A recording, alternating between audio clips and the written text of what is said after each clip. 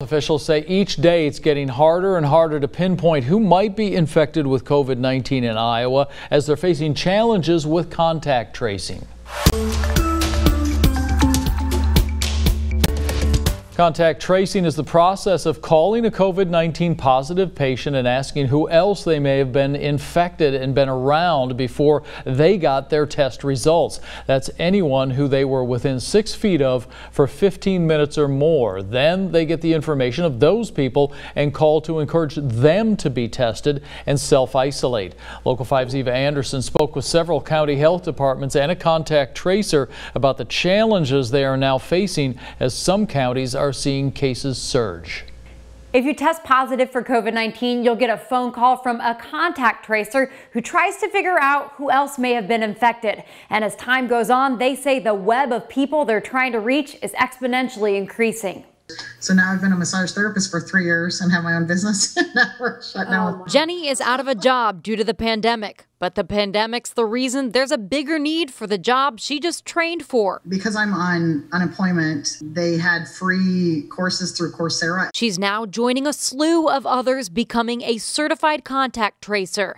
They're the people who make calls to positive COVID patients, taking notes on a form like this and asking who else they may have infected. Or if they like got together with a small group of people and it's easy to get a hold of those people. Then tracers reach out to those people and let them know You've been around a COVID positive person, but because of HIPAA, they can't say who. A lot of the training is teaching you verbiage to not freak people out because most people's general reaction is kind of panic. Difficult conversations at times. They include some basic questions. Where have you been recently? Who have you been around? Heather Meador with Linn County Public Health says as the state opens up, it's getting harder to pinpoint every potentially infected person. How do you deal with situations where somebody might have been at a large protest or a crowded bar?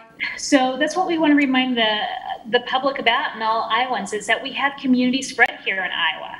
So community spread means that you've gotten it from somebody and you don't know who that person is we won't be able to reach out to individuals that you don't know. Over in Plymouth County, they now have the highest positivity rate in Iowa.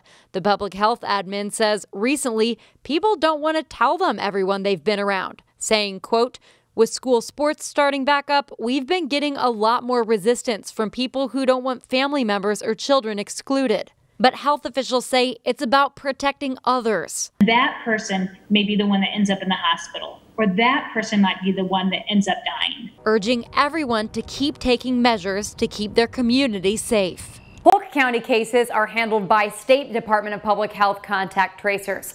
In Linn County, they have about 15 contact tracers, where in Plymouth, they only have three. Reporting in Des Moines, Eva Anderson, Local 5 News, we are Iowa.